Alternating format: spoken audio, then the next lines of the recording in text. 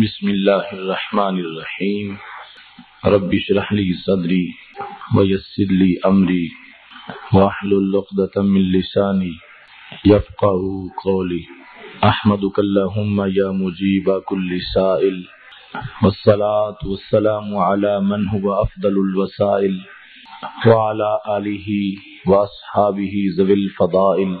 أما بعد فأعوذ بالله من الشيطان الرجيم بسم الله الرحمن الرحيم إنما يريد الله ليذهب عنكم الرجس أهل البيت ويطهركم تطهيرا صدق الله العظيم وصدق رسوله النبي الكريم الأمين إن الله وملائكته يصلون على النبي يا أيها الذين آمنوا صلوا عليه وسلموا تسليما الصلاة والسلام عليك يا سيدي يا رسول الله وعلى آلك وصحبك يا نبي الله. مولاي صل وسلم دائما ابدا على حبيبك خير الخلق كلهم. هو الحبيب الذي ترجى شفاعته لكل هول من الأهوال مقتحم. يا أكرم الخلق مالي من ألوذ به سواك عند حلول الحادث العممي ربي صل وسلم دائما نبدا على حبيبك خير الخلق كلهم. اسلام کی متا کو بچایا حسین نے. اسلام کی متا کو بچایا حسین نے. اپنے لہو کا پہرا بٹھایا حسین نے۔ ہے آج بھی وہ ملت کا درس آبرو۔ ہے آج بھی وہ ملت کا درس آبرو جو خاک کربلا پہ پڑھایا حسین نے۔ ہے آج بھی وہ مسجد و ممبر کی روشنی۔ ہے آج بھی وہ مسجد و ممبر کی روشنی دیا جو حرم میں جلایا حسین نے۔ ہے آج بھی یزیدیت ماتم میں مضطرب۔ ہے آج بھی یزیدیت ماتم میں مضطرب۔ ایسا نشان عبرت بنایا حسین نے۔ ہر لمحہ لاکھوں سجدے ہیں پروردگار کو۔ ہر لمحہ لاکھوں سجدے ہیں پروردگار کو، لیکن انوکھا سجدہ نبھایا حسین نے۔ تادیر تھی خیالوں میں آصف کے کربلا۔ تادیر تھی خیالوں میں آصف کے کربلا۔ تب خاک کربلا پہ بلایا حسین نے۔ اللہ تبارک و تعالی جل جلالہ و عم نوالہ و تم برہانہ و شانہ کی حمد و ثنا. اور حضور سرور کائنات، مفخر موجودات، زینت وزم کائنات، دستگیر جہاں، غم گسار زمان، سید سروران، حامی بے قسم، قائد المرسلین، خاتم النبیین، احمد مجتبہ جناب محمد مصطفیٰ صلی اللہ علیہ وآلہ وآصحابہ وبارک وسلم کے دربار گہر بار میں ہدیہ، درود السلام عرض کرنے کے بعد وارثان ممبر و محراب، ارباب فکر الدانش اور نہایت ہی محتشم سامین حضرات، رب ذوالجلال کے فضل اور توفیق سے آج مرکزی جامع مسجد سنی رضوی میں یوم شہید اعظم رضی اللہ تعالیٰ عنہ کے سلسلہ میں یہ عظیم الشان اجتماع منعقد کیا جا رہا ہے۔ میری دعا ہے رب ذوالجلال منتظمین کے انتظام کو اور آپ حضرات کی شرکت کو اپنے دربار میں قبول فرمائے۔ امام عظیمت کوہ استقامت۔ امام علی مقام سیدنا امام حسین رضی اللہ تعالیٰ عنہ اور دیگر شہداء کرب و بلا رضوان اللہ مجمعین کی شہادت کی تذکرہ کے سلسلہ میں اس عظیم الشان اجتماع کا انعقاد کیا جا رہا ہے۔ میری دعا ہے رب الجلال ہم سب کو قرآن و سنت کا فہم عطا فرمائے اور قرآن و سنت کے ابلاغ و تبلیغ اور اس پر عمل کی توفیق عطا فرمائے۔ میں نے قرآن مجید برہان رشید کی جو آیت کریمہ تلاوت کی ہے، اس کو شان اہل بیت کا گلدستہ کہا جاتا ہے۔ رب الجلال ارشاد فرماتا ہے، انما یرید اللہ لیذهب عنکم الرجس اہل البیت۔ اللہ یہی ارادہ فرماتا ہے کہ اے رسول اکرم صلی اللہ علیہ وسلم کے گھر والوں اللہ تم سے ہر قسم کی آلودگی کو دور کر دے۔ وَيُطَهِرَكُمْ تَطْهِيرًا۔ اور تمہیں طہارت کا وہ رتبہ عطا فرمائے جو کہ نفاست کا سب سے عالی مقام ہے۔ اس آیت کریمہ میں خالق کائنات جل جلالہ نے اہل بیت اطہار رضوان اللہ علی مجمعین کی علمی، عملی، روحانی اور اعتقادی حیثیات کو اجاگر کیا ہے۔ اس تمام موضوع کو سمجھنے کے لیے لفظ اہل بیت کا جو مفہوم ہے، اس کو سمجھنا چاہیے۔ اہل البیت۔ یہ دو الفاظ کا مجموعہ ہے۔ ایک ہے لفظ اہل اور دوسرا ہے البیت۔ البیت میں جو الف لام بیت پر موجود ہے، یہ ایک اور لفظ کی طرف رہنمائی کرتا ہے۔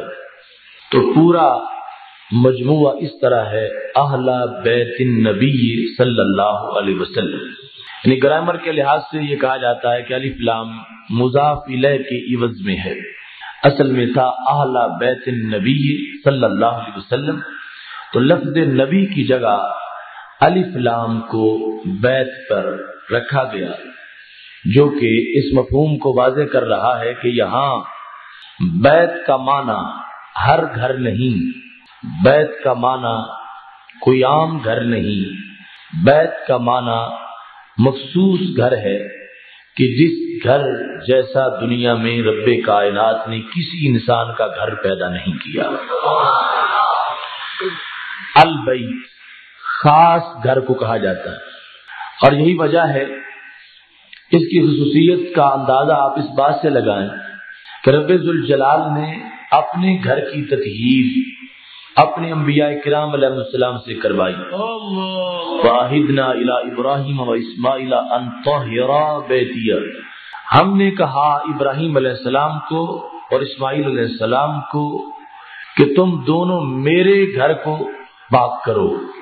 تو رب الجلال نے اپنا گھر اپنے انبیاء کرام علیہ السلام سے پاک کروایا۔ اور رسول اکرم صلی اللہ علیہ وسلم کے گھر کی تطہیر کو اپنے ذمہ لے لیا۔ انما یرید اللہ لیذهب عنکم الرجس اهل البیت ویطہرکم۔ یطہرکم میں جو فائل ہے وہ اللہ کی ذات ہے کہ اللہ پاک کر دے، اللہ تطہیر دے دے، اللہ طہارت دے دے۔ اب اگر اسی بات کو انسان گھنٹوں تک بیان کرے تو اس کی چاشنی ختم نہیں ہوگی کہ خالق کائنات جل جلالہ نے نبی اکرم صلی اللہ علیہ وسلم کے گھر کو کتنا عظیم گھر قرار دیا کہ اس کی تطہیر کو اپنی ذات کی طرف منسوب کر لیا۔ تو رب ذوالجلال چونکہ ازلی ہے، ابدی ہے، دائمی ہے، تو اس کی دی ہوئی تطہیر بھی دائمی ہے۔ اور یہ وہ عظمت ہے جو رسول اکرم نور مجسم شفیع معظم صلی اللہ علیہ وسلم کے گرانے کو خالق کائنات جل جلالہ نے ہمیشہ کے لیے عطا فرما دی ہے۔ البیت، وہ کون سا گھر ہے؟ جامع ترمزی میں اور دیگر حدیث شریف کی بہت سی کتب میں یہ حدیث شریف موجود ہے کہ نبی اکرم صلی اللہ علیہ وسلم نے خود ایک دن اپنے گھر کا تذکرہ کیا۔ اور اس انداز میں اس کو بیان کیا کہ صحابہ کرام علیہ مردوان کا جمع غفیر تھا۔ نبی اکرم صلی اللہ علیہ وسلم نے پوچھا، من آنا؟ میں کون ہوں؟ تو صحابہ نے کہا، انت رسول اللہ صلی اللہ علیہ وسلم۔ آپ اللہ تعالی کے رسول صلی اللہ علیہ وسلم ہیں۔ تو نبی اکرم صلی اللہ علیہ وسلم نے خود جواب دینا پسند کیا۔ تو مطلب یہ تھا کہ میں نے جو پوچھا اگرچہ اس کا جواب یہ بھی ہے جو تم نے صحابہ دیا۔ لیکن اس وقت میرا مقصود کوئی اور جواب تھا۔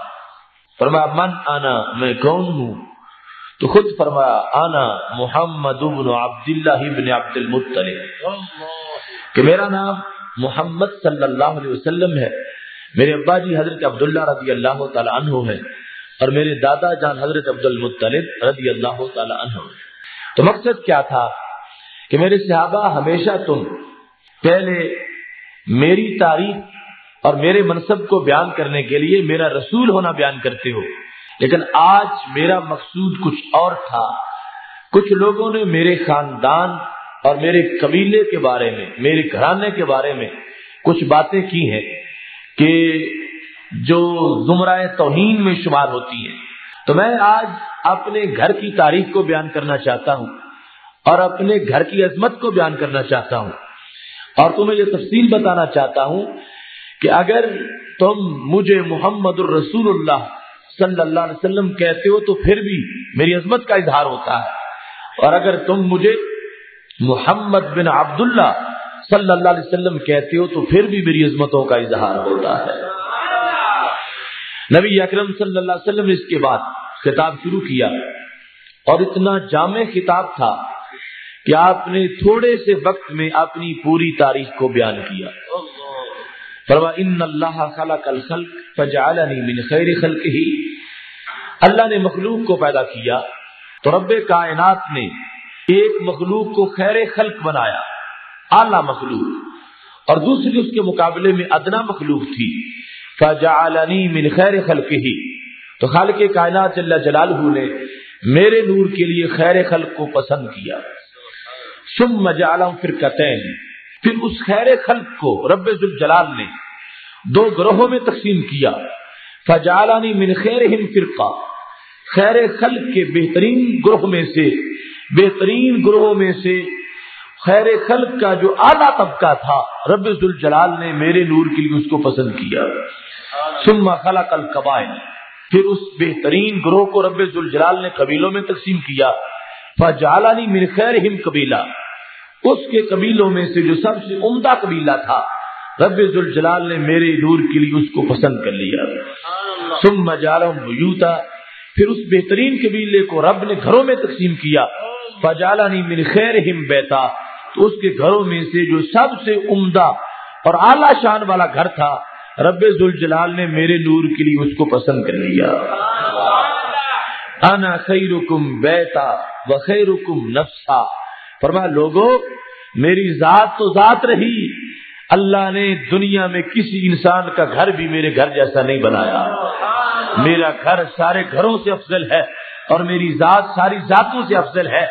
اس مقام پر البیت کی تعریف بالکل واضح ہو گئی کہ وہ بیت کہ جس کی مثل کائنات میں موجود نہیں ہے کسی انسان کا گھر اس بیت کی ہم سری نہیں کر سکتا، تو اس بیت میں جو رہنے والے ہیں، ان کی کوئی ہم سری کیسے کر سکتا ہے؟ اس بیت کے رہائشی جو ہیں، ان کو اہل البیت کہا جاتا ہے۔ اور ان میں سر فہرست نبی اکرم صلی اللہ علیہ وسلم کی ازواج متحرات ہیں۔ وہ اہل ہیں۔ جس وقت حضرت ابراہیم علیہ السلام کے پاس فرشتے آئے ہوئے تھے، تو انہوں نے بیٹے کی بشارت دی۔ عالیہ محترمہ نے کہا کہ اس عمر میں بیٹا کیسے پیدا ہو سکتا ہے؟ تو فرشتے کہنے لگے، رحمت اللہ وبرکاتہ علیکم اہل البیت۔ کہ اللہ کی رحمت اور برکتیں تم پر ہوں، اے اہل بیت۔ تو اب اس وقت خطاب جو تھا، وہ حضرت ابراہیم رضی اللہ تعالی عنہ، حضرت ابراہیم علیہ السلام کی زوجہ محترمہ کو تھا۔ اب ان کو قرآن مجید نے اہل بیت کہا، حضرت موسیٰ علیہ السلام جب مدیر سے سفر کر کے مصر کی طرف جا رہے تھے اور ان کی اہلیہ محترمہ ان کے ساتھ تھی، تو قرآن مجید کہتا از قال انی عادت نارا جب انہوں نے اپنے اہل کو کہا کہ تم ٹھہرو، میں آگ لے کے آتا ہوں۔ رات کا وقت تھا، سردی کا موسم تھا اور رات کا اندھیرا تھا۔ آگ نظر آئی، اس کو لینے کے لیے جب گئے، تو لفظ از کالا ہی جب انہوں نے اپنے اہل کو کہا تو وہاں پر ان کی زوجہ محترمہ بال اتفاق مراد ہے۔ تو قرآن مجید کے یہ دونوں مقام اس بات کو واضح کر رہے ہیں کہ اہل بیت میں سر فرست جن کا نام ہے وہ مقدس خواتین ہیں کہ جن کو رسول اکرم صلی اللہ علیہ وسلم کے ساتھ عقد نکاح کی نسبت حاصل ہے۔ اور اس کے بعد نبی اکرم نور مجسم شفیع معظم صلی اللہ علیہ وسلم نے خود چادر کے نیچے لے کر ان مقدس نفوس کو بھی اہل بیت میں شامل کیا۔ یہی وجہ ہے کہ رب الجلال نے بائیسویں پارے کے اس مقام پر پہلے بھی ساری زمینیں منس کی استعمال کی ہیں اور بعد میں بھی منس کی استعمال کی ہے اور صرف جن کے نہ شامل ہونے کا وہم کیا جا سکتا تھا حسنین کریمین، حضرت علی المرتضی رضی اللہ تعالیٰ عنہ۔ تو ان کو شامل کرنے کے لیے قوم کی مذکر کی زمینیں استعمال کی گئی تاکہ یہ ان حضرات کا کوئی انکار نہ کر سکے اور جن کے بارے میں رب الجلال بیان کرنا چاہتا ہے، وہاں تو شک کی گنجائش ہی نہیں تھی۔ اس واسطے پہلے بھی مونس کی زمینیں استعمال کی ہیں اور بعد میں بھی مونس کی زمینیں استعمال کی ہیں۔ اور نبی اکرم صلی اللہ علیہ وسلم نے خود رشاد فرما دیا ہے ان اللہ ابالی ان اتزوج الا اہل الجنہ۔ فرما، میرے رب نے میرے عقد نکاح میں ان خواتین کو دیا ہے کہ جن کا جنتی ہونا پہلے ثابت تھا اور میری زوجہ ہونا بعد میں ثابت ہوا۔ ان اللہ ابالی ان اتزوج الا اہل الجنہ، کہ خالق کائنات جل جلالہ نے انکار کیا ہے کہ میں صرف اس کی شادی آپ کے ساتھ کروں گا، اے میرے محبوب، جن کو میں نے جنتی قرار دیا ہے، اور جن کا جنتی ہونا میرے نزدیک ثابت نہیں ہے، میں ان کو آپ کے عقد نکاح میں نہیں آنے دوں گا۔ اس واسطے سب سے پہلا معنی اہل بیت اطہار کا یہ ہے کہ وہ یہ رسول اکرم صلی اللہ علیہ وسلم کی ازواج متحرات ہیں۔ اب اس مقام پر جو انداز ہے ایت کریمہ کا۔ وہ بھی بڑا منفرد قسم کا انداز ہے۔ اور یہ اہل سنت و جماعت کا شعار ہے کہ خالق کائنات جل جلالہ نے ان کو ہما جہت، الفت اور محبت عطا فرمائی۔ ہے کیونکہ محبت کا سلسلہ اللہ کی ذات سے شروع ہوتا ہے۔ خالق کائنات جل جلالہ کی محبت کے بارے میں نبی اکرم صلی اللہ علیہ وسلم ارشاد فرماتے ہیں، احب اللہ لما یجزکم اللہ سے محبت کرو کیونکہ وہ تمہیں کھانے پینے کو دیتا ہے۔ وہ احبونی لحب اللہ اور میرے ساتھ بھی محبت کرو۔ اس کی وجہ کیا ہے؟ اور میں جو رب تمہیں کھلاتا ہے وہ رب مجھ سے محبت کرتا ہے۔ احبونی لحب اللہ میرے ساتھ صرف اس لیے محبت کرو۔ میری رحمت میرے احسانات اپنی جگہ۔ صرف یہ تو دیکھو۔ احبونی لحب اللہ کہ جس رب نے تجھے پیدا کیا ہے، اس نے میرے لیے تجھے پیدا کیا ہے۔ میرے ساتھ محبت کرو۔ اللہ کی وجہ سے۔ احبو اہل بیتی لحبی اور میرے اہل بیت کے ساتھ محبت کرو میری وجہ سے کہ وہ میرے محبوب ہیں۔ میرے ساتھ اس لیے محبت کرو کہ میں رب کا محبوب ہوں۔ اور میرے اہل بیت کے ساتھ اس لیے محبت کرو کہ وہ میرے محبوب ہیں۔ اللہ اللہ فی اصحابی۔ میرے صحابہ کے بارے میں اللہ سے ڈرتے رہنا۔ لا تتخذوهم غرضا من بعدی۔ انہیں میرے بعد نشانہ نہ بنانا۔ فمن احبهم فبحبی احبهم جو میرے صحابہ سے محبت کرتا ہے، وہ مجھ سے محبت کرتا ہے۔ فمن ابغضهم فبمقدی ابغضهم جو ان سے بغض رکھتا ہے، وہ مجھ سے بغض رکھتا ہے۔ تو یہ محبتوں کا تمام تر خلاصہ اہل سنت کے سینے میں موجود ہے۔ اب یہاں پر جس تطہیر کا ذکر ہے، یہ تطہیر جس طرح اہل بیت اطہار کے لیے ہے، ایسے ہی صحابہ کرام علیہ رضوان کے لیے بھی ہے۔ یہ جو غشیکم الناس امنۃ منه وينزل عليكم من السماء ماء ليطهركم به ويذهب عنكم رجز الشيطان جب بدر کا مقام تھا، خالق کائنات فرماتا ہے، ہم نے تجھے پہنچایا ہی یہاں اس لیے ہے کہ ہم تجھے چادر تطہیر عطا کر دیں۔ ورنہ رب کافروں کو گھر بیٹھے مار سکتا تھا۔ وہ بدر میں آتے، صحابہ کو تلواریں چلانے کی ضرورت نہ پڑتی، وہ جہاں بیٹھے وہی فکر جاتے۔ لیکن اللہ نے ان کے مقابلے میں صحابہ کو کھڑا کیا اور کھڑا کر کے اللہ نے ان پر اونگ تاری کی۔ اور اونگ تاری کرنے کے بعد اللہ نے بارش نازل کر دی۔ اور جب بارش نازل ہوئی تو خالق کائنات نے آیت نازل فرما دی۔ فرما ہم نے کیوں نازل کی؟ فرما لیو تو کم بھی تاکہ اللہ اس کے صدقے تمہیں چادر تطہیر عطا فرما دے۔ اب ادھر بھی تطہیر ہے ادھر بھی تطہیر ہے۔ اور یہ اہل سنت کی تقدیر ہے کہ خالق کائنات نے دونوں پر ایمان کامل عطا فرمایا ہے۔ اہل بیت اطہار کی تطہیر کا بھی ذکر کرتے ہیں اور صحابہ کرام علیہ رضوان کی تطہیر کا بھی ذکر کرتے ہیں۔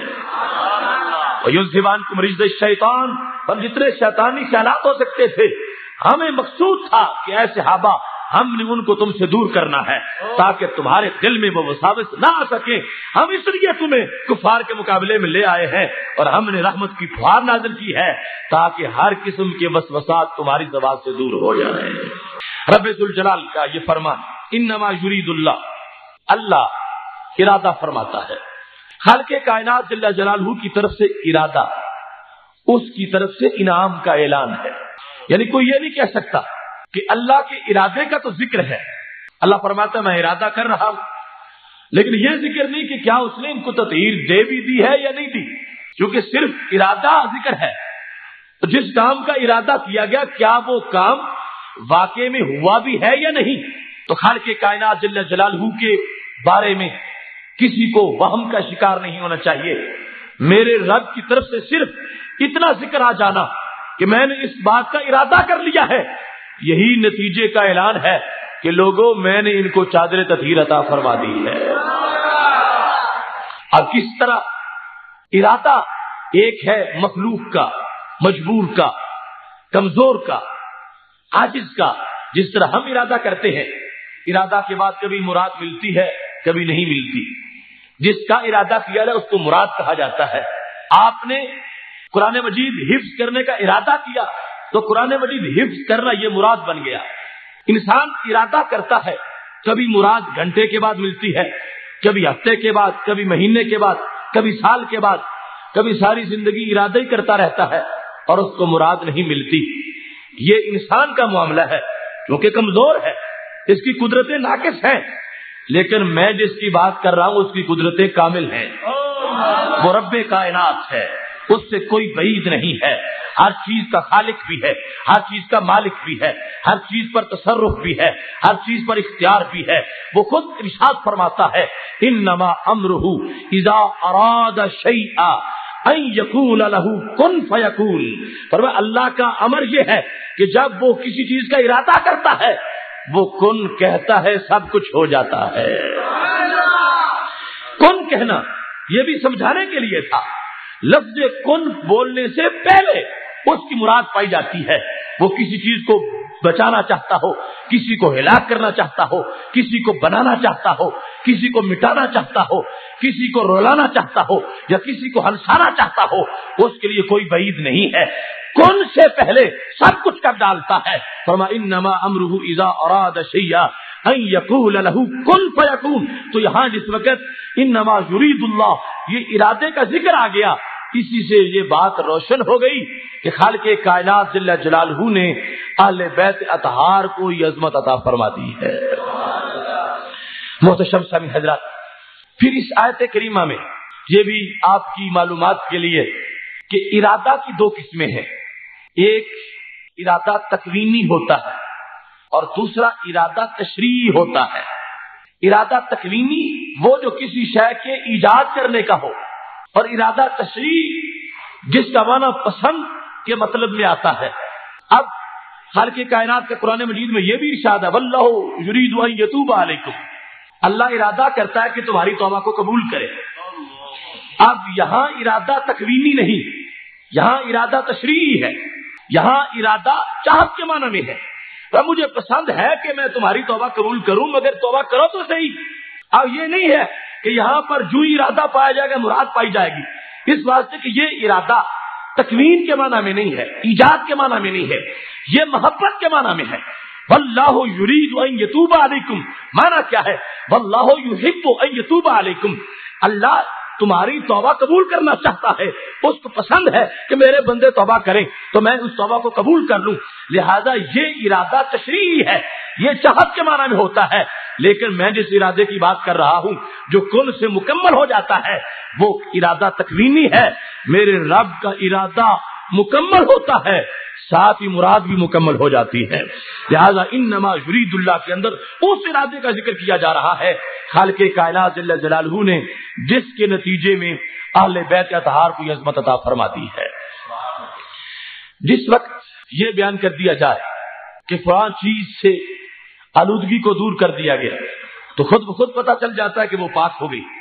لیکن خالق کائنات کو مقصود یہ ہے کہ میں محبوب علیہ السلام کے گھرانے کی عظمت کو ایسے انداز میں بیان کروں کہ کسی کو شک کی کوئی گنجائش باقی نہ رہے۔ پہلے یہ فرمایا، انما یرید اللہ اللہ یہ ارادہ کرتا ہے لیوز ہیوان کم کہ تم سے آلودگی کو دور کر دے۔ پھر وہ کو تمہیں تہارت عطا فرما دے۔ حالانکہ آلودگی کو دور کرنا یہی تو تہارت تھا۔ لیکن مضمون کو پکا کیا وہ تہرا کم کہا۔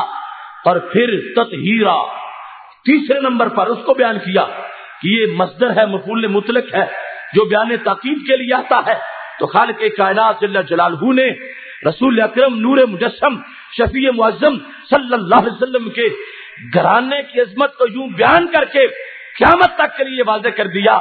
کہ جن کے گھرانے کے قریب عیب کا آنا مجھے منظور نہیں ہے، تو ان کی ذات کے قریب کیسے عیب لایا جا سکتا ہے؟ نمو سے رسالت کا مسئلہ۔ آج جس ماحول سے ہم گزر رہے ہیں، آیت تطہیر کی روشنی میں اگر یہ دیکھا جائے، تو رسول اکرم نور مجسم، شفیع معظم صلی اللہ علیہ وسلم اصل ہے آپ کے آگے اہل بیت اتحار ان کو نسبت سے عظمت ملی ہے اور پھر جو گہانا ہے، اس کو آپ کی وجہ سے پھر عظمت ملی ہے۔ اب جن کو عظمت ملی، ان کی تو مثال کائنات میں نہ ہو۔ جو آپ کی نسبت سے معظم ہوئے، ان کو تھوڑا سے پاک مانا جائے۔ اور خود جن کی وجہ سے عظمت مل رہی ہے، ان کے بارے میں ذہن میں گندگی رکھی جائے اور آلودگی رکھی جائے، تو یہ اس آیت پر ایمان کے منافی ہوگا۔ لہذا جو شخص آیت تطہیر پر یقین رکھتا ہے، اسے یہ ماننا پڑے گا کہ ہمارے رسول اکرم صلی اللہ علیہ وسلم اپنی ذات کے لحاظ سے، صفات کے لحاظ سے، تعلیمات کے لحاظ سے، گفتار کردار کے لحاظ سے، طریقے اور اتوار کے لحاظ سے جس جیسے بھی دیکھا جائے، اللہ تعالیٰ نے ان کو ہر عیب سے پاک پیدا فرمایا ہے۔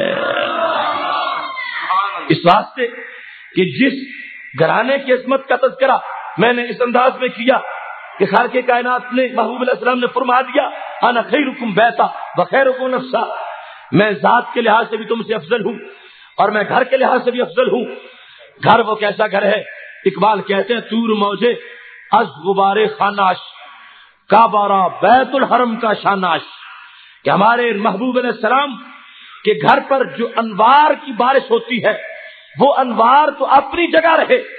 اس گھرانے کا جو غبار ہے اس غبار کا مقام یہ ہے کہ غبار سارا نہیں، تھوڑا سا غبار جب اڑتا ہے تو اللہ اس کو مقام تور عطا فرماتا ہے۔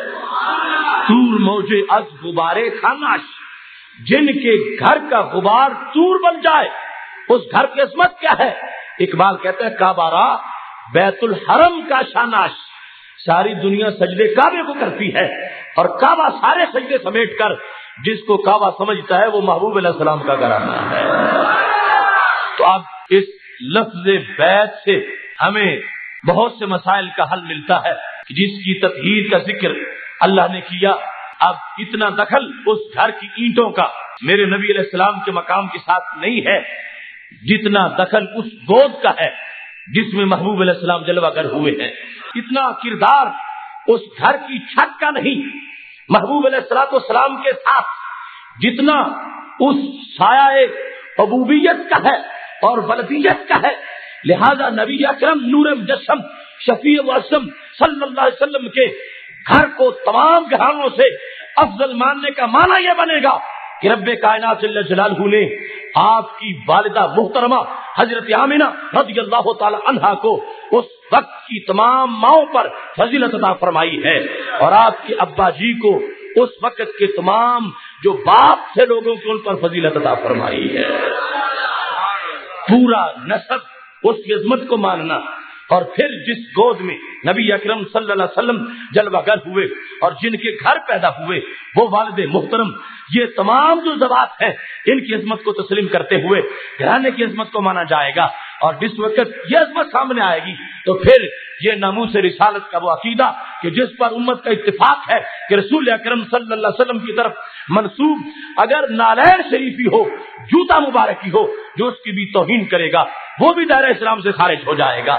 تو خود رسول اکرم، نور مجسم، شفیع صلی اللہ علیہ وسلم کی عظمت کو ماننے کا تقاضا یہ ہے کہ آپ کے بارے میں انسان غیر مشروط طور پر ہماری عظمتوں کا یقین رکھتے ہوئے ہر وقت آپ کو ہر عیب سے پاک مانتا رہے۔ محتشم سامی حضرات، اہل بیت اتحار رضوان اللہ علی مجمعین کی عظمت یہ ہے کہ رسول اکرم نور مجسم شفیع معظم صلی اللہ علیہ وسلم رشاد فرماتے ہیں، آنا واہل بیتی شاجرات فی الجنہ اغسانها فی الدنیا، فمن شاء اتخذ الى ربه سبیلا۔ فرمایا، میں اور میرے اہل بیت، ہم جنتی درخت ہیں اور ہماری ٹہنیاں دنیا پہ پھیلی ہوئی ہیں۔ تنا جنت میں ہے، ٹہنیاں دنیا پر ہے اصل جنت میں ہے اور اصل جنت میں ہے اور ٹہنیاں کائنات پر پھیلی ہوئی ہیں۔ وجہ کیا ہے؟ اگلے جملے میں حکمت بیان کر دی۔ فمن شاہ ربی سبیلا اور لوگوں کے لیے بڑا مشکل تھا دنیا سے جنت میں پہنچنا۔ ہم نے جنت میں ہو کر ٹہنیاں کائنات پر پھیلا دی ہیں۔ اب جس کی مرضی ہے وہ ٹہنی کو پکڑ کر اللہ کے دربار میں پہنچ جائے۔ فمن شاہ الا رب ہی سبیلا جس کو چاہیے، وہ اپنے رب کی طرف راستہ پالے، اپنے رب تک پہنچ جائے۔ پا گئی آسودگی ہوئے محبت میں وہ خاک۔ مدتوں آوارہ جو حکمت کے صحراؤں میں تھی۔ انسان اگر اس واسطے کے بغیر جانا چاہے، اللہ کے دربار تک، تو اس کے لیے بڑا مشکل ہے۔ کتنے سال چلے کرے، ریاستیں مجاہدے، ہو سکتا ہے بندگی سے تکبر پیدا ہو جائے۔ اور تکبر ازازیل را خارج کر پھر یہ منظر بن جا۔ اور انسان سال ہاں سال کی محنت کے بعد ذلت رسوا ہو جائے۔ لیکن اہل بیت اتحار کی محبت کتنا بڑا ذریعہ ہے کہ نبی اکرم صلی اللہ علیہ وسلم نے فرما دیا، یہ ٹہنیاں کائنات پر پھیلی ہوئی ہیں، پھیلا اس لیے دی ہیں کہ جو بھی ان ٹہنیوں سے اپنا تعلق قائم کر لے گا، اللہ کے دربار میں پہنچنا اس کے لیے آسان ہو جائے گا۔ محتشم سبھی حضرات، اب وہ ٹہنیاں جو کہ اللہ کے دربار تک پہنچانے والی ہوں، ان کو وسیلہ کے سوا اور کچھ نہیں کہا جا سکتا۔ تمسل ان زوات کے ساتھ، یہ اس حدیث کا سب سے بڑا مفہوم ہے۔ کچھ لوگوں کو یہ غلط فہمی رہتی ہے کہ نماز کا تمسل تو جائز ہے۔ اس تعین بھی صبر و صبر اور نماز سے تو اللہ کے دربار میں وسیلہ پیش کیا جا سکتا ہے۔ مگر زوات کا وسیلہ نہیں ہو سکتا۔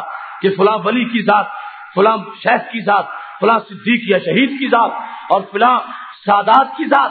لیکن اس حدیث نے واضح کر دیا پمن شاہ الا ربی سبیلا فرما، ہم نے ٹہنیاں بنا دیا ہے، اپنی اولاد کو، اپنی آل کو، اہل بیت اتحار کو۔ یہ پوری کائنات پر پھیلنے والی ہیں۔ اب جو بھی سکھ کے دل سے ان سے وابستہ ہو جائے گا، رب کائنات اسے بھی جنت تک اور اپنے دربار کی رسائی عطا فرما دے گا۔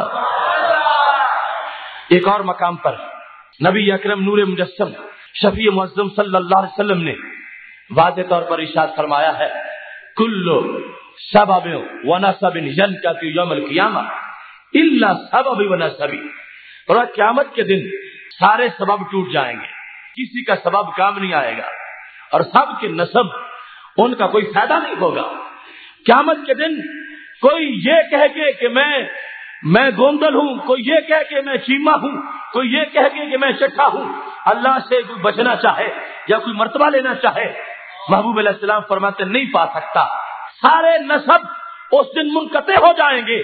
اللہ سب ابھی و نصبی اور قیامت کے دن میری رشتہ داری کام آئے گی۔ جن لوگوں کا میرے ساتھ خونی تعلق ہے، جن کا میرے ساتھ رشتہ ہے اس وقت بھی اس رشتے کی عزت ہوگی، اس رشتے کی عظمت ہوگی۔ باقی واضح طور پر ربی اکرم نور مجسم شفیع معظم صلی اللہ علیہ وسلم نے فرما دیا ہے، عمل کی اہمیت کو واضح کیا ہے اور عمل کی افادیت کو واضح کیا ہے۔ وہ اپنی جگہ ہے، ضروری بھی ہے۔ اہل بیت اتحار ہوتے ہی وہ ہے کہ جن میں آلودگی پائی نہیں جاتی، نہ عمل کے لحاظ سے، نہ عقیدے کے لحاظ سے۔ لیکن ایک انفرادیت جو اس خاندان کی ہے۔ نبی علیہ السلام نے اس کو واضح فرما دیا۔ اور میں باقی تمام خاندانوں کے رشتوں کے حوالے جب دیے جائیں گے، ان کو مستعد کر دیا جائے گا۔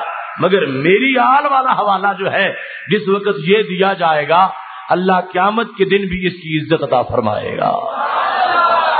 اور پھر حدیث میں ہم جیسوں کے لیے بھی سہارا بیان فرما دیا۔ جو ہم نبی علیہ السلاۃ والسلام کی ضروریت سے نہیں ہے، ہمارا سادات کے ساتھ تعلق نہیں ہے، ہم اہل بیت اتہار کے افراد نہیں ہیں۔ تو محبوب علیہ السلاۃ والسلام نے اس پر بھی واضح فرما دیا، فرما، کل سبب و نصب جن کہتی ہے یوم القیامہ اللہ سب ابھی نصبی میں جن کا نصب میرے ساتھ ملتا ہے، میں ان کے بھی کام آؤں گا۔ اور جن کا سبب میرے ساتھ ملتا ہے، میں ان کے بھی کام آؤں گا۔ جو میری اولاد ہے، میں ان کا بھی مشکل کشا بنوں گا۔ اور جو میرے امتی بھی ہے میں ان کا بھی مشکل کشا بنوں گا۔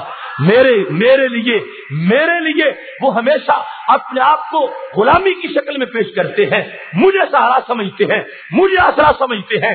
تو میں اللہ سارے آسرے قیامت کے دن ختم کر دے گا۔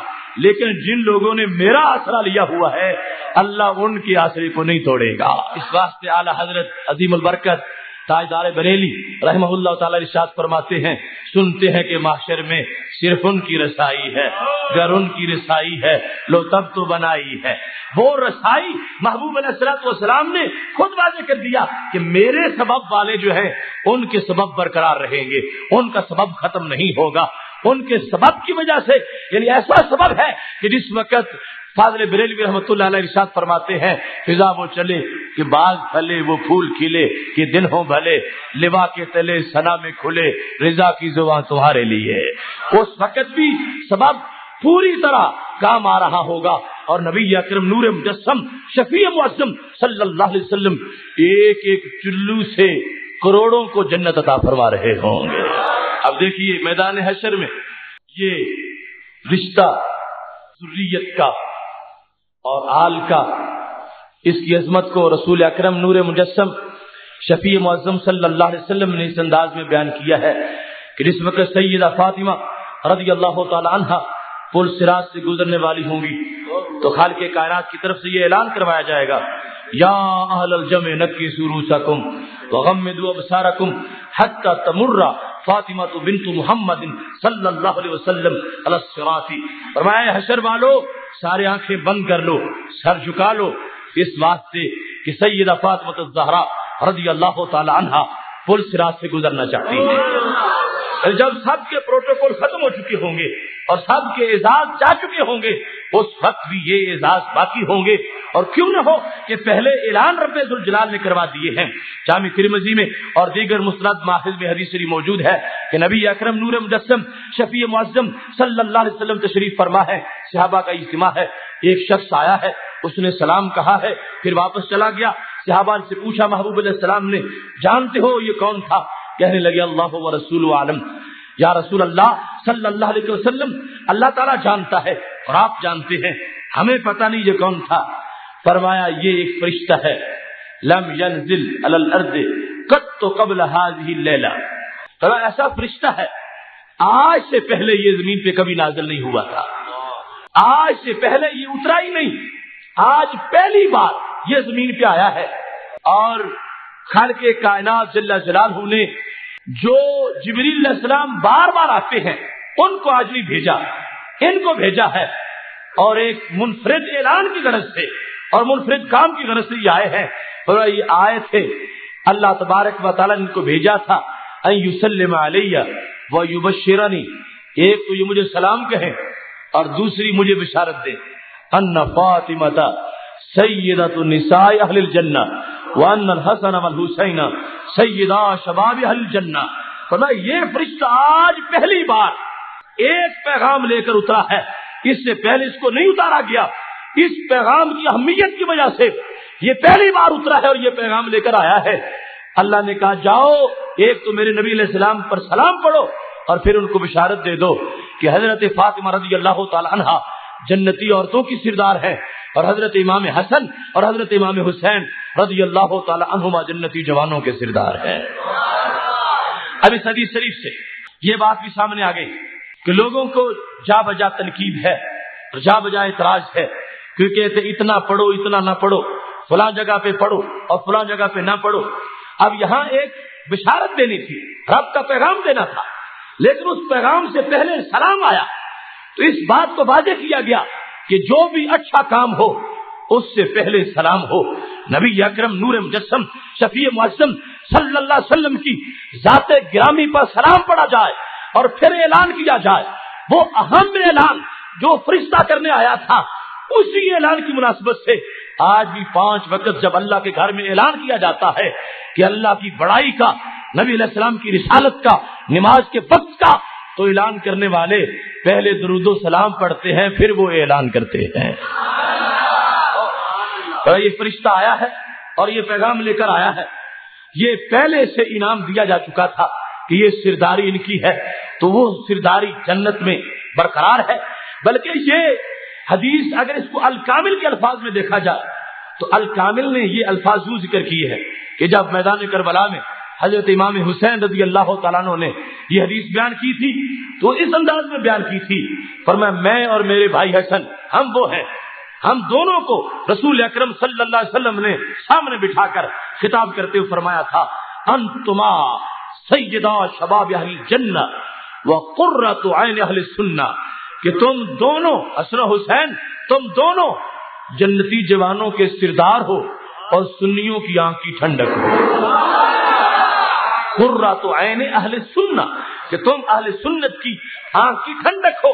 تو یہ انداز شروع سے رسول اکرم نور مجسم، شفیع معظم صلی اللہ علیہ وسلم نے ان مقدس نفوس کو عطا کیا ہے اور یہ کربلا کا امتحان اسی حیثیت میں تھا کہ جن کو تیاری محبوب سرا کروائی گئی ہو، ان کا امتحان بھی معمولی امتحان نہیں تھا۔ رب کائنات نے سب سے بڑا امتحان لیا اور پھر اس وقت کے لحاظ سے سب سے بڑا انعام عطا فرمایا۔ اب دیکھیے سید فاطمت الزہرا رضی اللہ تعالی عنہ ایک دن نبی اکرم صلی اللہ علیہ وسلم کے دربار میں آئے اور کہنے لگی حاضان یہ بنا کا ور سوما شیا یا رسول اللہ صلی اللہ علیہ وسلم یہ دونوں آپ کے بیٹے ہیں ان دونوں کو ورثہ دے دو۔ اب میرے نبی علیہ السلام کے دربار میں تو کوئی عام منگتا آ جائے تو پھر بھی کیا اس کو دیا جاتا ہے؟ فاضل بریلی رحمت اللہ علیہ کہتے ہیں میرے کریم سے گر قطرہ کسی نے مانگا۔ دریا بہا دیے ہیں، دربے بہا دیے ہیں۔ اب یہ تو جگر کا ٹکڑا ہے فاطمت الزہرا رضی اللہ تعالیٰ عنہ جس وقت یہ مانگنے آئی ہیں۔ تو ہمارے نبی علیہ السلاۃ والسلام نے فرما دیا، ٹھیک ہے۔ فاطمہ، میں اپنے دونوں بیٹوں کو دوری وراثت عطا فرماتا ہوں۔ اما حسن، فلاح ہے بتی وسودی تو اما حسین فلاح جرأتی وجودی فرمایا، یہ جو میرے حسن ہیں، ان کو میں نے دو چیزوں کا ورثہ دیا۔ ایک تو ان کو میں نے ورثہ دیا اپنے روب کا، اور دوسرا ان کو ورثہ دیا میں نے اپنی سرداری کا۔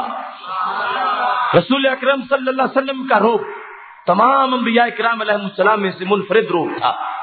ہر پیغمبر بڑا باروب ہوتا ہے، ان سے دشمن کانپتے ہیں، ان کا روب تاری ہوتا ہے۔ مگر ہمارا نبی علیہ السلام کو جو دیکھتا تھا صرف وہی دشمن نہیں کانپتا تھا۔ یہاں تک کہ فرمایا، آج یہاں سے گھوڑا دوڑنا شروع کرے۔ ایک مہینے تک دوڑتا رہے۔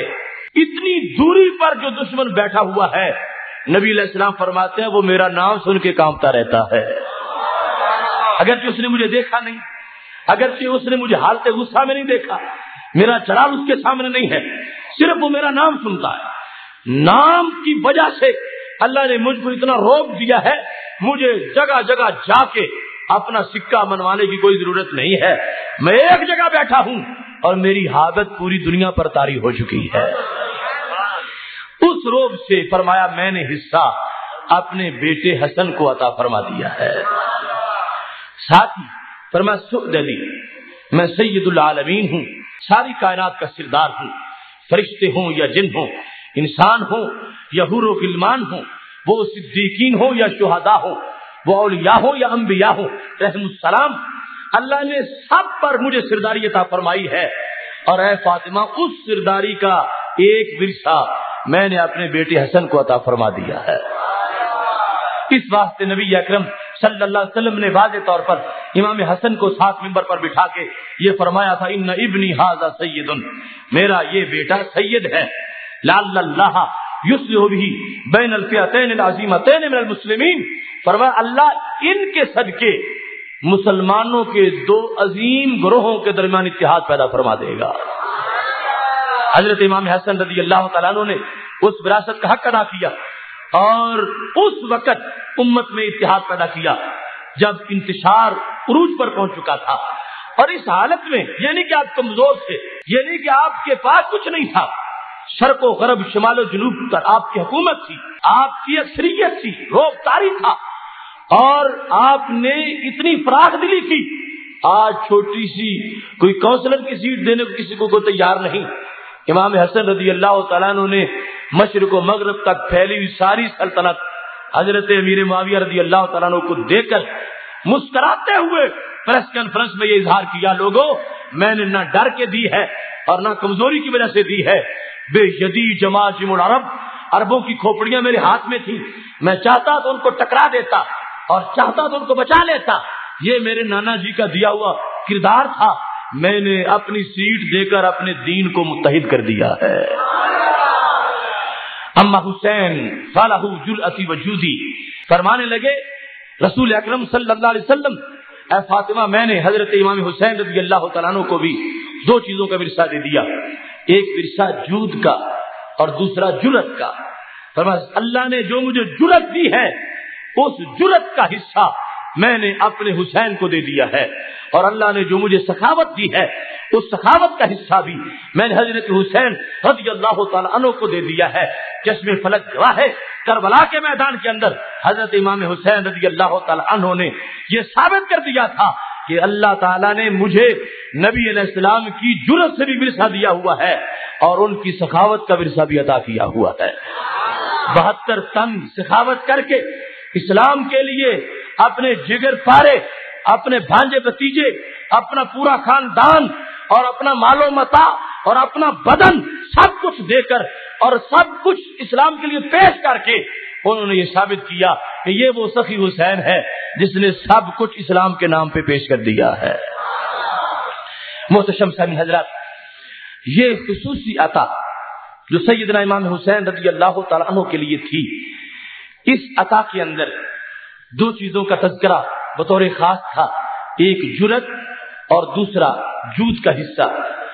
سیدنا امام حسین رضی اللہ تعالی عنہ نے ان دونوں تقاضوں کو کربلا کے کمرہ امتحان میں مکمل کیا اور یہ آپ کی صلاحیت تھی اور آپ کی استعداد تھی اس وقت روئے زمین پر آپ کے مرتبے کا کوئی اگر دوسرا انسان ہوتا یقیناً اس سے یہ امتحان لیا جاتا حضرت امام حسین رضی اللہ تعالیٰ بال یقین اس وقت کے موجود لوگوں میں سے عظیمت میں پہلا نمبر رکھتے تھے اور پہلا مرتبہ تھا جس لیے خال کے کائنات اللہ جلال نے جتنا بڑا آپ کی کلاس کا میرٹ تھا اور جتنا بڑا رتبہ تھا، اللہ تعالیٰ نے اسی رتبے کے لحاظ سے امتحان لیا۔ اور خال کے کائنات جل جلال کی امتحان میں آپ نے اس صلاحیت کے مطابق جو بارگاہ نبوت سے ملی تھی، امتحان کو مکمل پاس کر کے دکھا دیا۔ اس وقت یزید اور حضرت امام حسین رضی اللہ تعالیٰ عنہ کا جو تقابل ہے، اس کو بعد والے لوگوں کی آنکھوں کے سامنے تو وہ مناظر نہیں ہے لیکن خود صحابہ کرام رحم ردوان اچھی طرح جانتے ہیں۔ اور پھر وہ لوگ جو اس کو دو شہزادوں کی جنگ قرار دیتے ہیں، ان کو بھی سوچنا چاہیے کہ حضرت عبداللہ بن زبیر رضی اللہ تعالیٰ ہو نواز صدیق اکبر رضی اللہ تعالیٰ ہو واقعہ کربلا کے بعد جس شخصیت نے اس پر سب سے زیادہ عمل احتجاج کیا اور عمل جہاد کیا نواز رسول صلی اللہ علیہ وسلم کی شہادت کے بعد نواز صدیق اکبر رضی اللہ تعالیٰ عنہ میدان جہاد میں اترے۔ حضرت عبداللہ بن زبیر رضی اللہ تعالیٰ عنہ نے یزید سے مسلسل جنگیں کی اور بے لاخر اسی کی باقیات کے ساتھ لڑتے ہوئے مکہ شریف میں شہید ہو گئے۔ سولی پہ آپ کو لٹکا دیا گیا اور کئی دنوں تک آپ کا جسد اثر مکہ شریف میں لٹکتا رہا۔ آپ کی والدہ محترمہ حضرت اسما بن کے بھی بکر رضی اللہ تعالی عنہ جو نہایت بوڑھی ہو چکی تھی۔ حجاج اس وقت آپ کے پاس پہنچا تو آپ نے اس وقت بھی اس انداز میں پامردی کے ساتھ حالانکہ بوڑھی بھی تھی اور صنف نازک بھی تھی، مگر کہنے لگی ہیں، خدا کے دشمن، مجھے فخر ہے کہ جس نے میرا دودھ پیا تھا، اس عبداللہ بن زبیر نے اسلام کی حفاظت کا حق ادا کر دیا ہے۔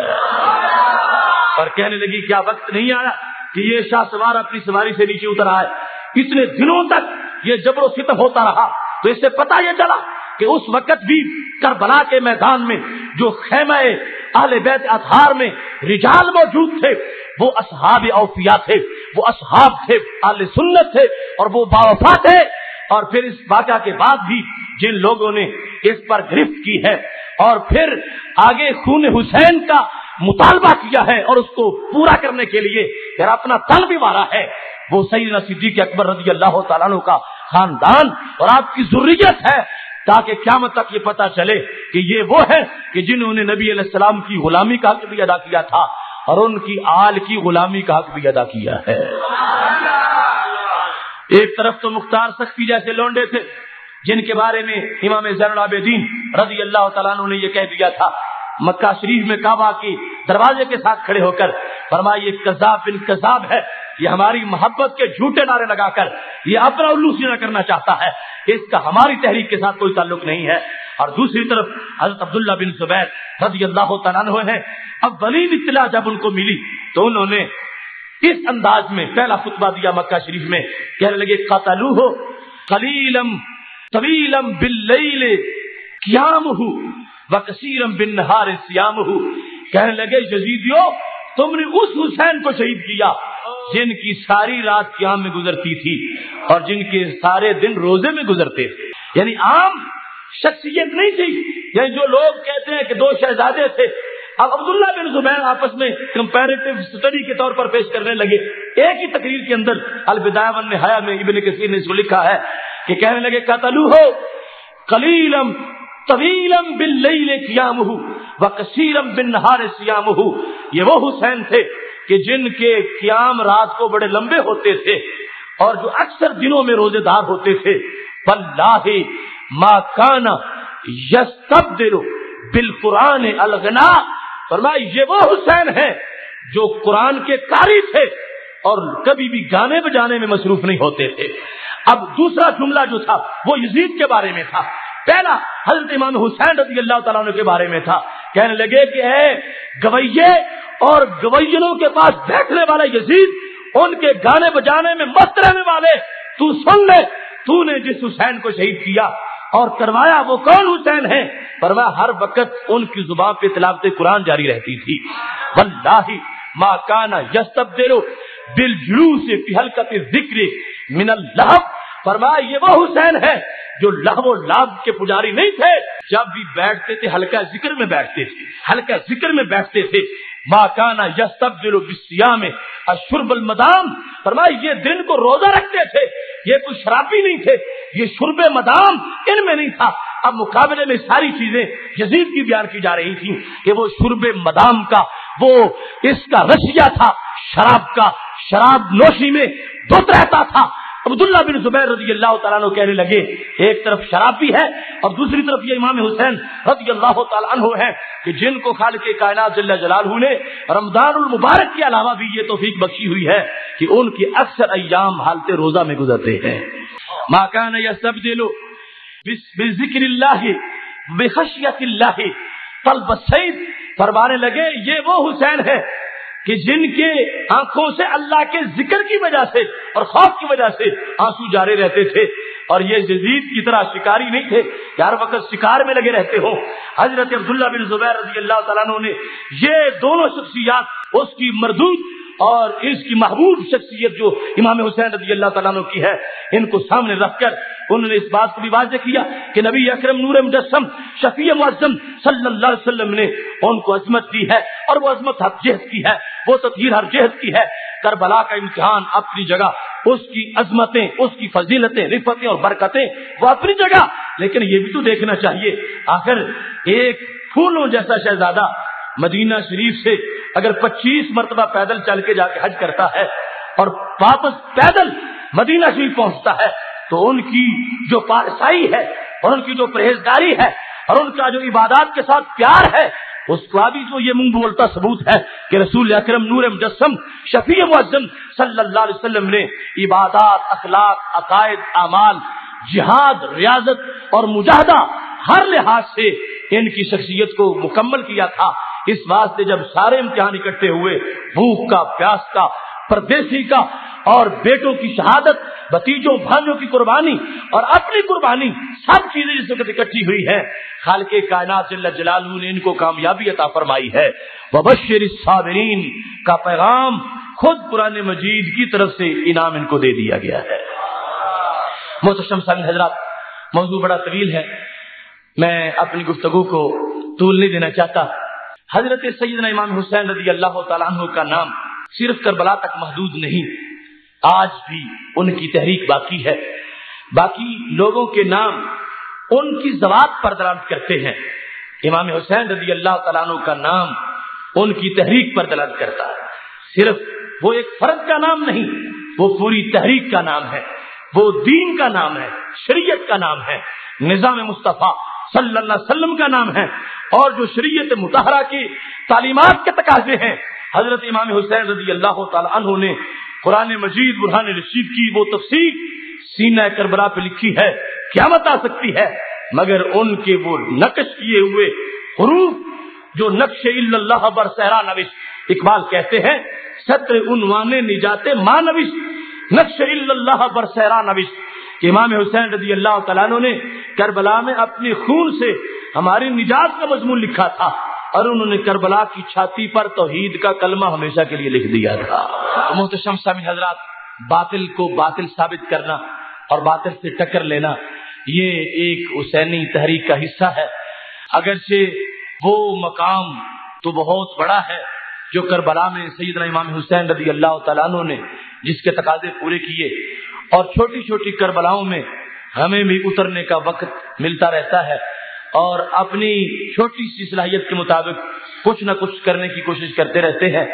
جس وقت مسئلہ کے علیہ سنت پر مختلف طرف اطراف سے باطل پرستوں نے حملے کرنے شروع کیے۔ تو رب الجلال نے ہمیں توفیق بخشی۔ ہم نے گوجرا والا میں خطبات جمعہ کی شکل میں اور فام دین کوس کی شکل میں دس قرآن حدیث کی شکل میں مختلف اطراف پر، مختلف موضوعات پر اپنے موقف کو پیش کیا۔ اس کے نتیجہ میں لا دینیت اور الحاد کے ایوانوں میں زلزلہ تاری ہوا اور انہوں نے مناظرے کا بندوبست کیا، مناظرے کی پیشکش کی۔ رمضان المبارک کے فوراً بعد فام دین کورس کی تپش جب انہیں محسوس ہو رہی تھی، مناظرے کا پیغام آیا۔ تو مناظرے کا موضوع معین کیا گیا۔ اس موضوع پر وہاں بھی طائفہ ایک گمراہ طائفہ ہے۔ ہم نے نو دسمبر دو ہزار پانچ کو چار گھنٹے تک ان کے کونا مشق مناظر کے ساتھ شرائط طے کی۔ یہ نومبر سے سلسلہ شروع ہوا تھا۔ پورے گوجرا والا کے اندر ان کو کوئی شخص ایسا نہ ملا کہ جس سے وہ جواب دعویٰ لکھا سکیں۔ وہ دور سے جلن سے ایک شخص کو اٹھا کے لائے۔ اسے جواب دعویٰ لکھوایا۔ اور یہ جواب دعویٰ لکھنا مناظر ہونے کا اعلان کرنا تھا کہ اس شخص نے میرے مقابلے میں چیلنج کو قبول کیا ہے۔ چار گھنٹے پیپلز کالونی میں رات کے وقت اس موضوع پہ مسلسل بات ہوئی اور خالق کائنات جل جلالہ نے ہمیں اس میں پہلے نمبر پر یہ پتہ یہ عطا فرمائی کہ طے یہ تھا کہ جانبین سے ایک ایک مناظر بیٹھے گا۔ لیکن ان کے مناظر کو اپنی کمزوری کا پہلے اتنا پتا تھا کہ وہ ایک دوسرے مناظر کو بھی ساتھ لے آیا اور ہمیں چونکہ وہ خواہ درجنوں ہوں، اس سے کوئی فرق نہیں پڑتا۔ ہم نے کھلے ماں سے قبول کیا۔ وہ دونوں ایک میرے سے بات کرتا تھا، دوسرا اس کے کان میں بات کرتا تھا۔ ویسے تو وسیلے کے قائل نہیں ہے لیکن یوں وہ انہوں نے آپس میں سلسلہ چلایا ہوا تھا۔ بہرحال وہ اس کے باوجود بھی ناکام رہے۔ اور ایسا موضوع طے ہوا کہ ان کے لیے وہ دائمی شکست کا سبب بن گیا۔ اب وہ چوری چھپے بیٹھ کے یعنی سامنے تو بول نہیں سکے تھے لیکن جب علیحدہ بیٹھ کے بھی اپنی سیڑھیاں بناتے ہیں، تو پھر بھی اس موضوع کے سائے سے بھی ڈرتے ہیں۔ موضوع نیا، ایک لکھتے ہیں کہ گمراہ کون؟ اس سے پتا چلتا ہے کہ وہ اتنے خائف ہے اس موضوع سے کہ خیال میں بھی اس سے ڈرتے ہیں۔ یعنی جب میں ان کے سامنے بیٹھا ہوا نہیں ہوں، وہ اپنے گھر میں بیٹھے ہوئے جالی سیڑھی تیار کر رہے ہیں، لیکن پھر بھی اس میں موضوع وہ لا رہے ہیں کہ گمراہ کون؟ حالانکہ چار گھنٹے کی بات کے بعد جو موضوع طے ہوا، جس پر دو مرتبہ اس شخص نے دستخط کیے، وہ یہ تھا کہ بہابی طائفہ، ایک گمراہ طائفہ۔ ہے تو اس موضوع میں اپنی گمراہی کا اتنا انہیں خطرہ ہے، اور اتنے الرجک ہیں، اور اپنے آپ کو وہ ہدایت پر ثابت کر ہی نہیں سکتے۔ اس واسطے یہ موضوع ہم نے ان کو منوایا۔ چار گھنٹے لگے، لیکن جواب دعویٰ ہم نے اپنی مرضی سے لکھوایا۔ وہ مصر تھے کہ ہم جواب دعویٰ میں لفظ حدیث لکھیں گے۔ میں نے کہا، میں نہیں لکھنے دوں گا کیونکہ میں آپ کو حدیث نہیں مانتا۔ میرا مناظرہ حدیث سے نہیں ہے۔ حدیث تو محدث کو کہتے ہیں۔ میں نے کہا، ریڈی لگانے والے کو حدیث نہیں کہتے۔ اور میں تمہیں مانتا ہی نہیں ہوں۔ تمہیں اس لفظ کے سوا جو لفظ میں نے تمہیں دیا ہے، اس پر تمہیں جواب دعویٰ لکھنا پڑے گا۔ آپ دیکھ سکتے ہیں اب تحریریں وہ اصل فوٹو کاپی سامنے آ گئی ہے اور اسٹار پر اس کا منظر بھی آپ کو نظر آئے گا۔ اور سی ڈی کے اندر بھی کہ وہ باقاعدہ طور پر جو لفظ میں نے دیے تھے، انہی الفاظ کے ساتھ ان کو تسلیم کرنا پڑا اور یہ ہماری دوسری فتح تھی کہ ہم نے ان کو شرائط نہیں پوری طرح جکڑ لیا تھا۔ یہ تفصیلی اشتہار بڑے سائز کا آپ کو مل جائے گا، اس میں ساری چیزیں تفصیل کے ساتھ موجود ہیں۔ یہ بات ہوتی رہی۔ اس میں آپ نے سنا ہوگا کیسٹوں میں وہ شخص یہ کہتا تھا، بار بار میں یہ ثابت کروں گا، میں یہ ثابت کروں گا۔ اور یہ کہتا تھا، اتنے منٹ آپ بولیں گے، اتنے منٹ میں بولوں گا۔ سب کچھ حساب کتاب کرتا رہا۔ اور بلکہ یہاں اس نے یہ بھی کہا تھا، جس وقت میں کہتا تھا کہ آخری باری میری ہونی چاہیے، وہ کہتا تھا نہیں، آخری باری میری ہوگی۔ میں کہتا تھا، چونکہ میں مدعی ہوں تو آخر میں میں تقریر کروں گا۔ وہ کہتا تھا، نہیں نہیں، چونکہ میں نے جواب دینا ہے تو آخر میں میں تقریر کروں گا۔ تو اس پر پنجابی میں اس نے کہا کہ یہ کہ پانچ منٹ کی ٹرن پانچ منٹ کی تسا ٹرن لانی ہے، تو پانچ منٹ کی میں لانی ہے۔ جس وقت میں کہ نہیں نہیں، یہ میرا حق ہے۔ تاکہ جس میری باری آئی تو ٹوٹ گئی، تڑک کر کے۔ یہ اس نے اس وقت بولا تھا، اور باقی وہ تڑک کر کے ٹوٹ گئی۔ جب اس نے اس شرائط کے اندر یہ کہہ دیا تھا کہ میری باری جب ٹائم کی آتی ہے، تو آپ کہتے ہیں، یہ اتنا ہونا چاہیے، اتنا ہونا چاہیے۔ تو اس طرح کی ساری چیزیں پوری طرح اپنی زبان سے بول کے، تسلیم کر کے، مان کے۔ لیکن مناظرے کا دن جس وقت آیا وہ تو پہلے ہی رائے فرار پر تھے۔ ہم بار بار کہتے تھے، جگہ کا تعین کرو، بتاؤ۔ لیکن وہ اس سلسلے میں بالکل خاموش تھے۔ اور پھر ان کا یہ آخری حربہ تھا کہ ہم اپنے مدرسہ میں رکھیں گے۔ تو یہ وہاں پہ آئیں گے نہیں، ہم ان کی شکست کا اعلان کر دیں گے۔ لیکن اللہ کے فضل سے ہم ان کی مدرسہ میں چلے گئے۔ اور وہاں جا کر ہم نے ان سے پہلے قبضہ کر لیا۔ اور وہاں اس انداز میں اس نمراک مسجد اور مدرسہ کی دیواروں کو بھی اللہ نے پہلی مرتبہ یہ شرف بخشا کہ انہوں نے بھی نعرہ رسالت یا رسول اللہ کی آوازیں سنی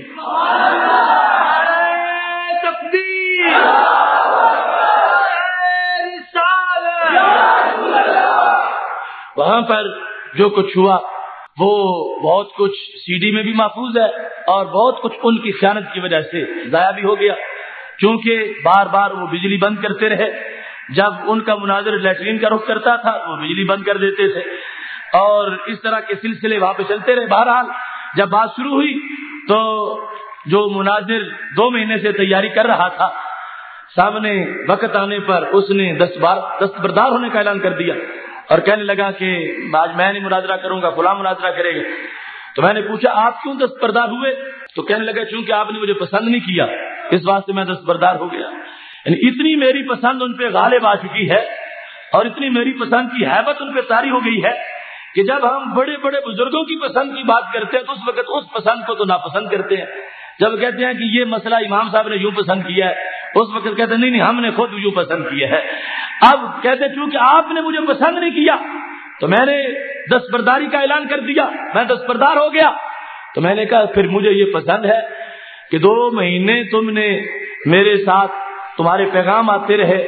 تم نے شرائط طے کی، تم نے جواب دعوی پر چار مرتبہ علیحدہ علیحدہ تیار جواب دعویٰ کیے، پھر دستخط کیے۔ پھر تم نے یکم جنوری کو کنفرمیشن پہ دستخط کیے۔ اور اب تم فرار ہو رہے ہو۔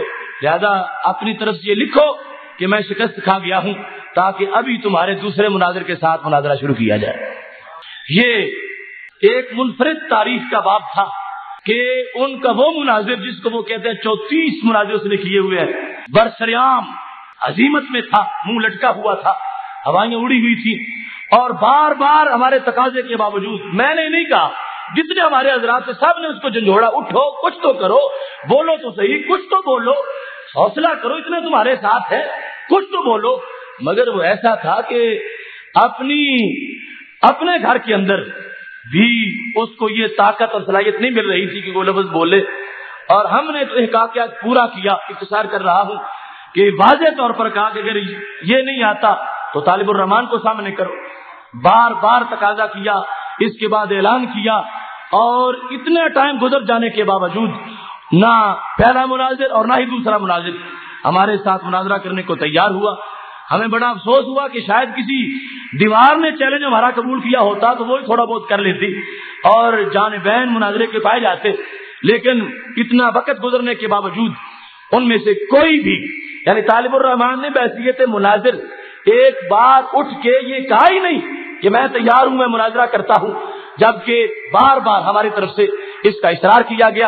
اور اس کے بعد باقاعدہ ان لوگوں نے جو وہاں پر موجود تھے مخالف فریق کے۔ انہوں نے ہاتھ جوڑے کہ ایک بار ان کو جانے دو، ایک بار جانے دو۔ جب میرا تقاضا تھا کہ جب تک یہ شکست پر دستخط نہیں کریں گے، ان کو نہیں جانے دیا جائے گا۔ وہ تمام اہلی شاہد اور گواہ موجود ہیں۔ بڑی مشکل کے بعد میں نے ان کی جان چھوڑی اور یہ میں نے کہا کہ ان کو میرے آگے لگاؤ، پھر میں اٹھوں گا۔ ان کو، انہوں نے کہا کہ وہ تو پہلے نکل چکی ہے گجرے میں جا کے بیٹھے ہوئے تھے۔ پھر میں وہاں پہنچا۔ اس کے بعد تھوڑی دیر کے بعد مدرسہ سے بھی پہلے ان کو نکالا اور اس کے بعد میں نکلا۔ مجھے پتا نہیں اتنا یعنی کوئی اصل میں جو بھی میں کہوں گا۔ اس لفظ کی ان سے امید کی نہیں جا سکتی۔ اگر میں یہ کہوں کہ ان میں اتنی امانت بھی نہیں، تو یہ بھی مجھے کہنے پر افسوس ہوگا کہ مجھے یہ امید ان سے رکھنی نہیں چاہیے۔ کہ وہ اتنا بھی سچ نہیں بولتے، تو مجھے یہ بھی امید ان سے نہیں رکھنی چاہیے کہ با جماعت جھوٹ بولنے پہ تل جائیں۔ اور با جماعت جھوٹ کا اعلان کریں اور با جماعت یعنی ان کو شرم ہی نہ آئے اپنے شاگردوں کے سامنے، اپنے لوگوں کے سامنے کہ انہوں نے ہاتھ جوڑ جوڑ کے ہماری جان چھڑوائی ہے اور ہمیں بیر نکالا ہے۔ اور ہم جب نکلے تھے، گلے میں لوگوں نے ہاتھ ڈالے ہوئے تھے اور وہ دیواروں کے ساتھ چمٹے ہوئے تھے دائیں بائیں اور ہم اس وقت نکل رہے تھے۔ اس کے بعد پھر انہوں نے جس وقت یہ دیکھا کہ ہمارے عوام ہمیں پتہ نہیں کس طرح ہمارا استقبال کرتے ہیں، کن جوتوں کے ساتھ کچھ نہ کچھ تو ہم بھی کاروائی ڈالیں۔ اور وہ بیٹھ کے اللہ تعالیٰ کے محبوب علیہ السلاۃ والسلام کو تو حاضر نہیں مانتے۔ آپ نے آپ کو ان کے دربار میں حاضر اور ان کو ناظر نہیں مانتے۔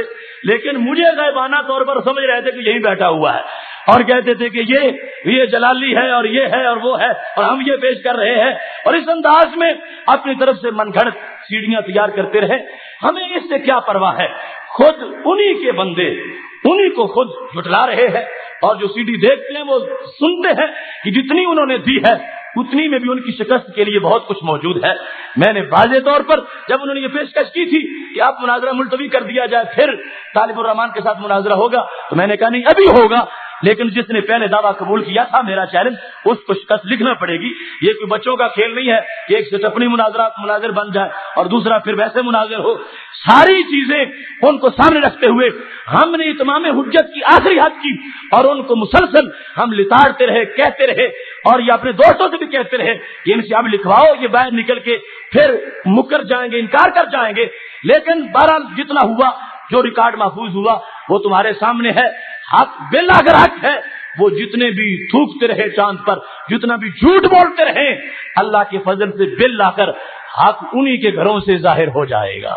جشن فتح میں بھی اعلان کر دیا تھا کہ اب کوئی کیڑا مکوڑا یا اینٹ روڑا ہمارے ہدف پر نہیں ہے۔ پاکستان میں جو کچھ ان کے پاس تھا، وہ لے آئے اور انہوں نے ہمارا ٹائم ضائع کیا، تین گھنٹے ہم باہر ہیں، وہ ہمارے ساتھ مناظرہ نہیں کر سکے۔ تو ہم نے کہا تھا کہ اب نظر سے براہ راست ان کا کوئی گرو اس کو بلایا جائے اور کسی بھی ٹی وی چینل پر مناظرے کا بندوبست کیا جائے تو اللہ کے فضل سے ہم عربی میں مناظرہ کر کے اس کو شکست سے دو چار کریں گے۔ لہذا اس سے کم جو اگر کوئی بات کرتا ہے تو ان کو کہو کہ اپنی تاریخ پیدائش چیک کرو۔ اگر پچیس جنوری سے پہلے پیدا ہوا تھا وہ مناظر، تو اس کا حساب اس دن مکمل کر دیا گیا ہے۔ اگر بعد میں کوئی اگر پیدا ہو کے بن گیا ہے، تو اس کی ہم سے بات کر سکتے ہو۔ یا پھر جو ہم نے پیش کیا، یہ چھوٹے چھوٹے جو ہے ان کی باتیں سننے کا ہمارے پاس ٹائم ہی نہیں ہے۔ اور جس کو اس دن بواسیر تھی، یا اس کے بقول اس کو گیس تھی، یا جو کچھ بھی تھا، اسے چاہیے تھا کہ دو مہینے اس کے پاس تھے۔ پہلے تیاری کر کے آ جاتا۔ اب اس کا نیا جنم نہیں ہے اور ہم یہ اعلان کرتے ہیں کہ یہ موضوع ہے ہی ایسا کہ جس پر کبھی بھی ان کے پاس سکت ہی نہیں ہے کہ وہ ہمارے کسی شاگرد کے ساتھ بھی مناظرہ کرنے کو تیار ہو سکے۔ تو محتشم سامن حضرات، اللہ تبارک و تعالی ہماری اس محفل کو قبول فرمائے۔ واخر دعوانا الحمد للہ رب العالمین۔